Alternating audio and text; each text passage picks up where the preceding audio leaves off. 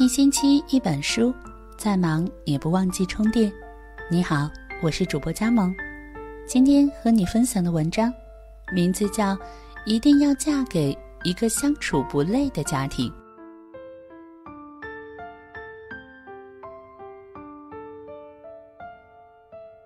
这些年，身边恐婚的朋友越来越多。我们这一代人大多是独生子女，组建一个家庭的难度可想而知。让我奇怪的是，现在恐婚不是那些一生放荡不羁、爱自由的男孩，反倒是女孩们越来越不想结婚，把各位男朋友急得像热锅上的蚂蚁。在他们心里，婚姻不是领个红本那么简单，它不是两个人的事儿，有时候相爱、合适，甚至努力，可能都没用，得看两个家庭处得怎么样。中国式婆媳举世闻名，中国式孝子出了名难搞。到最后，一个家庭的幸福与否，很大程度上取决于两个女人这出戏唱的怎么样。不少婚姻的悲剧里，婆媳关系都是导火索。几年前，同事洛洛离婚了。这场原本可以幸福美满的婚姻里，婆婆是唯一的问题。洛洛一直是个独立自信的姑娘，有主见、有能力，特别讨厌别人来干涉她的生活。但好在她情商够高，自控力够强，对待不喜欢的人，顶多只是心里默默拉黑，绝对不会起什么冲突。可偏偏遇上一个闲不住的婆婆，像居委会主任一样，时不时的来她家看看。毕竟是老公的妈，总不能避而不见。可是见了面就别扭。洛洛的婆婆是个勤快的人，在家一刻也停不下来，每天至少擦三遍地。勤快的人大多很挑剔，所以只要看见洛洛家水池子里堆着的碗、洗衣机里塞满的衣服，就一整天黑着一张脸。洛洛无可奈何地说：“每天上班累成狗，想攒两天一起收拾，怎么就像犯了什么天大的错？”更可怕的是。婆婆从来不指挥她干活，却总是阴阳怪气地表达不满。今天表扬邻居家的媳妇做的菜好，明天羡慕别人的儿子买这买那，听得洛洛一肚子气，又发不出火，憋屈得要死。每次去婆婆家之前，洛洛要做好几天的心理建设，给自己打气，可还总是备受打击。为了维系这段婚姻，洛洛就这么咬牙忍着。也和老公谈了很多次，甚至买了一堆书学习婆媳相处之道。可无论怎么做，婆婆就是对她不满意。终于爆发了一场婆媳大战。那天她哭得稀里哗啦，给我打电话的时候声音时断时续，听不真切。但有一句话让我记忆犹新：我也是第一次给人当媳妇，谁生下来就会跑啊？是啊。每个人都知道婆婆不是妈，可她也不是路人甲，亲不得远不了，分寸的拿捏，尺度的把握，全凭经验。都是第一次，何苦为难彼此？一个巴掌拍不响，婆媳矛盾也不是一个人的战场。都说婆婆对媳妇苛刻，其实媳妇对婆婆的为难也不少。有一次，在楼下的超市里听到两个清脆的姑娘聊天看她们的衣着打扮，一定是富养出来的女儿。超市不大，我侧身就能听到这两个人的对话，大概的内容就是吐槽自己的婆婆。其中一个姑娘说起自己婆婆的大嗓门，经常周六一大早拎着早饭来敲门，像叫早一样，在家说话也像扩音喇叭一样说个不停。最让她受不了的就是婆婆成天儿子长儿子短的，好像把她当空气。敲门的时候喊的是“儿子，给妈开门”；看电视的时候说的是“儿子，你快看这个多好玩”。她经常尴尬的不知是待在原地还是走上去攀谈。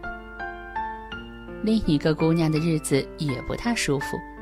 同样是南方媳妇嫁到北方，生活习惯的差异、为人处事的距离，让生活举步维艰。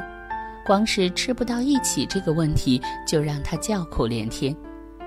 小两口平时工作忙，婆婆家又离得近，所以老公经常去蹭个饭，自己不去显得不好，可去了又吃不到一起。她喜欢喝汤吃米，婆婆成天包子馒头的招呼她。她口味清淡，婆婆做的菜又油又咸，吃多了自己难受，吃的少了，婆婆又总问她是不是菜做的不好。说了半天，婆婆也听不进去，搞得她经常借故加班，在公司吃外卖。两个姑娘都是一副后悔结婚的模样。有人说，婆媳关系就是阳春白雪和下里巴人的正面冲突。当时尚前卫的媳妇遇上顽固守旧的婆婆，一场暗战在所难免。说实话，未必。眼里揉不得沙子的女人，嫁给谁都不会幸福。你是第一次当媳妇，她也是第一次给人当婆婆。管得多了，说她控制欲强；管得少了，又说她不帮忙。讲真，当个婆婆并不比当媳妇容易。人们经常说要嫁给一个相处不累的人，其实嫁给一个相处不累的家庭，你会更爽。表姐就是这种幸运的姑娘。结婚之前，她是个十指不沾阳春水的大小姐，在家被姑姑和姑父宠得不像样。虽然也算是个大家闺秀，但给人当媳妇还是要人忧心忡忡。而且据说她婆婆是个抠门的铁公鸡。据说第一次去婆婆家就打碎了一对几百块钱的碗。据说那是十几年前朋友送给婆婆的生日礼物。那个时候的几百块钱算是大件了，她老人家这么多年都舍不得用，心想着儿子女朋友第一次进门拿出来庆祝一下。没想到就这么悲剧了，她心里咯噔一下，自己演练了半天，第一印象就这么毁了。没想到婆婆不仅没生气，反而笑着说了一句：“我第一次去婆婆家，差点没把房子点着了。”她说那一刻就下定决心，这个家庭值得嫁。后来听她老公说，婆婆那天晚上睡不着觉，拿着那几片碎碗片，一边叹气一边说。娶个儿媳妇真是贵，把家里爷俩都笑翻了。婆媳是一种最独特的社会关系，你不能把对方当亲人一样畅所欲言，但也不能像陌生人一样一言不合就不理不睬。女人的态度决定一个家的温度，特别是中国式婚姻里，拼的就是女人的格局。两个温暖的女人凑在一起，家就会越来越暖。两个冰冷的女人拼成一家，家就成了冰窖。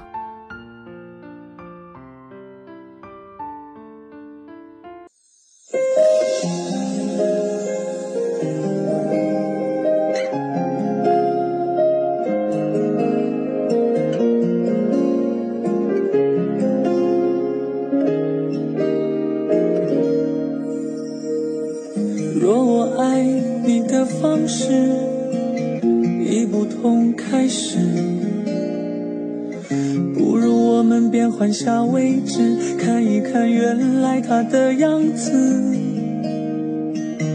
我害怕那种坚持，无声的休止，浪漫被岁月滴水穿石，散落却从来都没发觉，沉默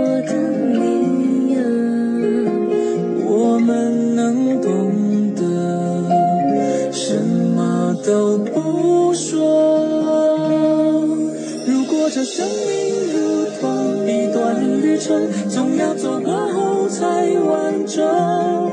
谁不曾怀疑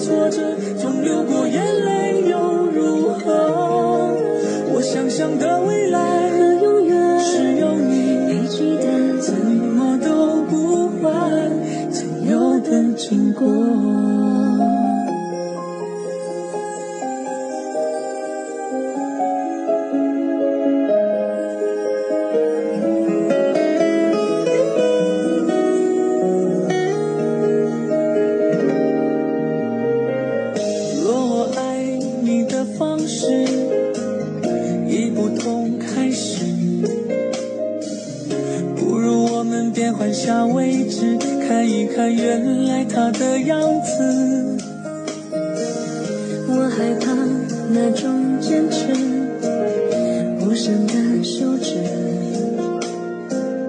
浪漫被岁月滴水穿石，散落却从来都没发觉。沉默。